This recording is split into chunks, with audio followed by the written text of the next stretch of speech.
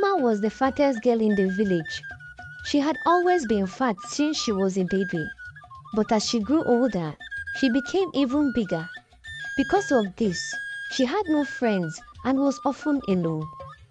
She was constantly mocked and harassed by the other girls in the village, who called her names like hippo, whale, and buffalo.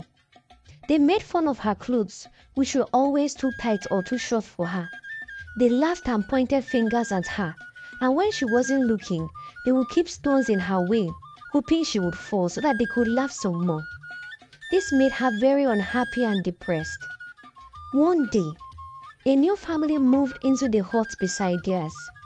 They had a daughter named Ngozi who was just about the same age as Ifeoma. Ngozi was slender and pretty, with long black hair and brown eyes. She wore colorful beads and bracelets and had a lot of beautiful Ankara dresses. Ngozi quickly became popular among the other girls who admired her and wanted to be her friend. Ifeoma was curious about Ngozi and hoped that they could be friends since they were neighbors. One day, she summoned up courage and decided to approach her while they were at the stream. She walked up to Ngozi, who was surrounded by a group of other girls, and said timidly, Hi, my name is Ifeoma. I live in the hut next to yours, and I would like to be your friend if you don't mind. Ngozi looked at Ifeoma and laughed an evil laugh. She said loudly for everybody to hear, Ifeoma, why would I want to be your friend? Why would I be friends with a girl as fat and ugly as you are? You are repulsive. Get away from here and never speak to me again. She then laughed, and so did the other girls. They all pointed at Ifeoma and chanted, Heavy, heavy, biggie, biggie, himpo, nobody likes you. Ifeoma felt a surge of pain and anger in her heart. She ran away crying and went home. She locked herself in her hut and refused to come out. And because she was sad, she ate even more food finishing all the food meant for the entire family for dinner. She wished she could disappear or be someone else. A few days later, a royal messenger arrived in the village. He announced that Obinna, the king of the kingdom, was looking for a bride and that he would visit the village soon to choose one.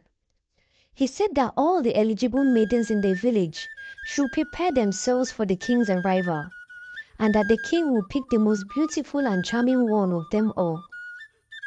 The news caused a lot of excitement and commotion in the village. All the girls except Ifeoma started to dress up and adorn themselves with their best clothes and jewelry. They had practiced their manners and poses, hoping to impress the king. Ngozi was the most confident and ambitious of them all. She was very sure that since she was so beautiful, the king will fall in love with her at first sight and that she will become the future queen. Ifeoma, on the other hand, had no interest in the king or his visits. She felt that because she was fat, he would never choose her and that she would be humiliated and rejected by him. She stayed in her hut all day feeling sorry for herself and wished that she could escape from her miserable life. When the day of the king's visit finally came, the king arrived the village with his entourage. He was tall and handsome, with a golden crown on his head and a leopard skin cloak around his shoulders. He greeted the village chief and elders and proceeded to meet the girls immediately. He walked around the village looking at each girl carefully and asking them questions about their names and families. The girls tried their best to charm him with smiles and compliments but he was not impressed. Ngozi was the most aggressive of them all. She showed off her looks and curvaceous figure in a seductive manner. The king was not impressed by Ngozi either. He found them too vain, too loud, or too shallow. He was looking for a girl who was not only beautiful, but also humble and kind. He was about to give up and leave the village when he noticed a hut that he had not visited yet. He asked the village chief who lived there, and the chief told him that it was Ifeoma's parents' hut. The chief said that Ifeoma was the fattest girl in the village and that she was always alone in her hut sewing or talking to her plants. He urged the king not to bother checking on Ifeoma because she was not his type. She was fat and very unattractive. The king was intrigued by Ifeoma and decided to see her for himself. He walked around her hut and knocked on her door. Ifeoma answered very faintly, Who is it? The king responded, Ifeoma, please don't be afraid. I mean you no harm. I just want to talk to you and get to know you.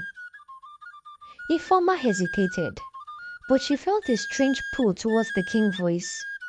She wondered what he wanted to talk to her about, and so she opened the door and let him in. When she opened the door, she saw the king standing outside smiling at her. He was tall and very handsome, with beautiful brown eyes and a kind face. He looked at her with interest and not disgust or pity. The king walked into the hut and looked around the hut. It was very small and simple, but also very clean. He saw the dresses that Ifeoma had sewn, and he was very impressed. He then looked at Ifeoma herself very carefully and saw a very beautiful woman. She was plump and curvaceous and had a beautiful oval face and large eyes. He said to her, I am delighted to meet you, Ifeoma. You have such a beautiful smile. Ifeoma was sincerely surprised by the king's words. She did not expect him to notice or appreciate her. Thank you, she said. You are very kind. Ifeoma and the king smiled at each other and felt a warm and tender feeling in their hearts. They spent the next few hours talking, laughing, and eating.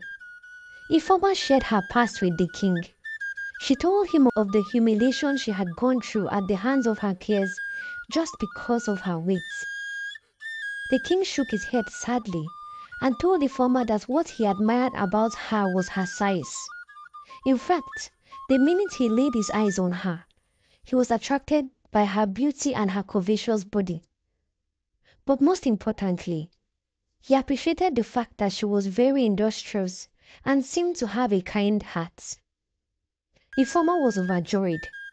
She finally felt seen. Regardless of her size, the king was in love with her. Meanwhile, outside the hut, the village was in an uproar.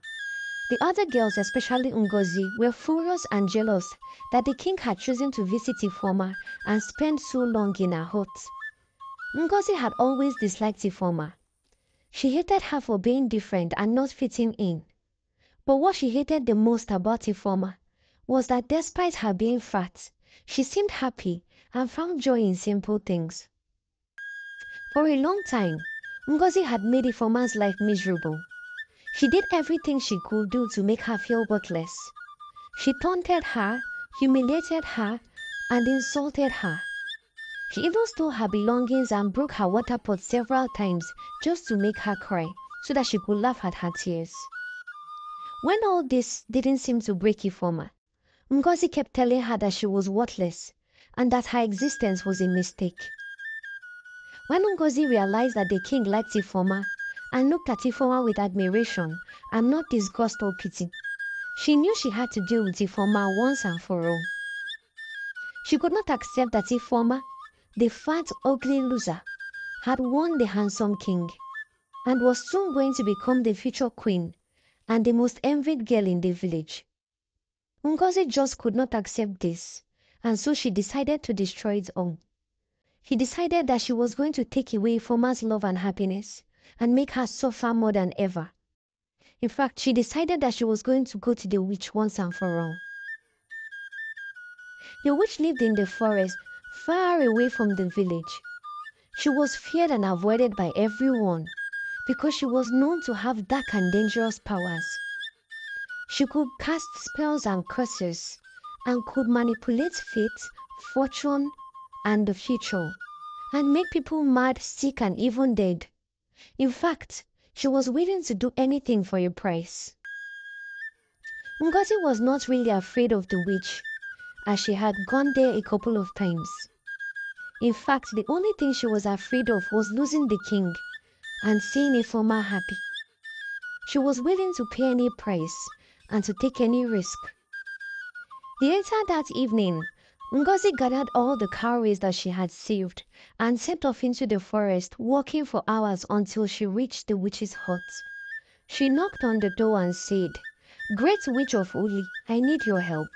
I have come to make a deal with you. The witch opened the door and looked at Ngozi with a sly and wicked smile. She said to her, Well, well, well, what do we have here? A pretty little girl with a big problem. Come in, come in, let's talk. Ngozi entered the hut and saw that it was dark and filled with strange and scary things. She saw skulls, bones, feathers, and bottles of poison. The witch sat in front of a boiling cauldron, and beside her was a black cat, a snake, and a crow. She felt a chill down her spine, but she was not afraid. Ruining Ifeoma's life was worth any price she had to pay.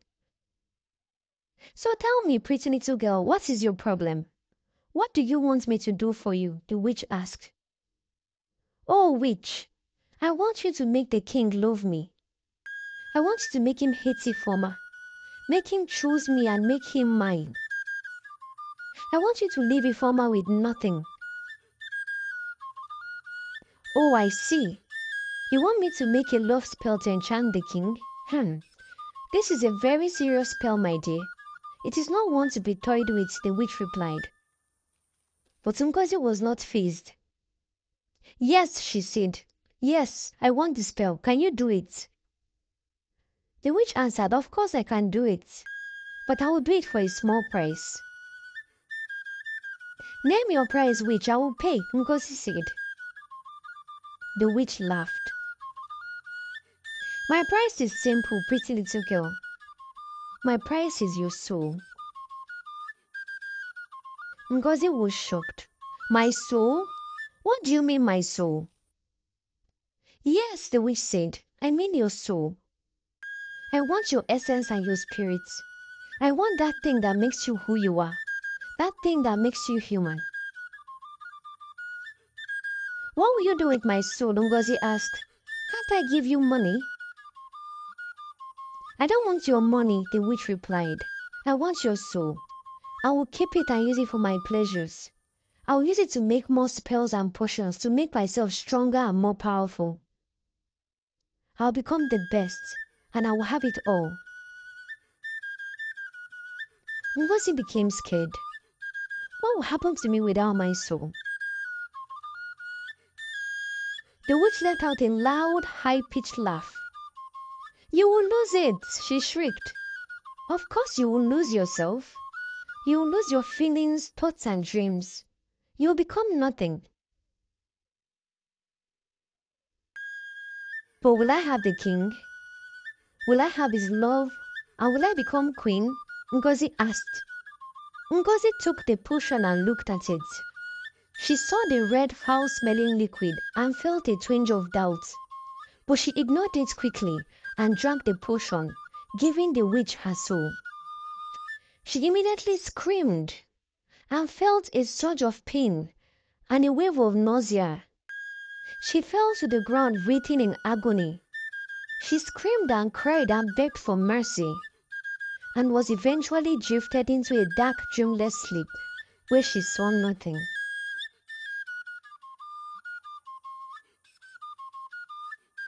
Hi besties, please like and subscribe to my YouTube channel for more interesting stories. Thank you.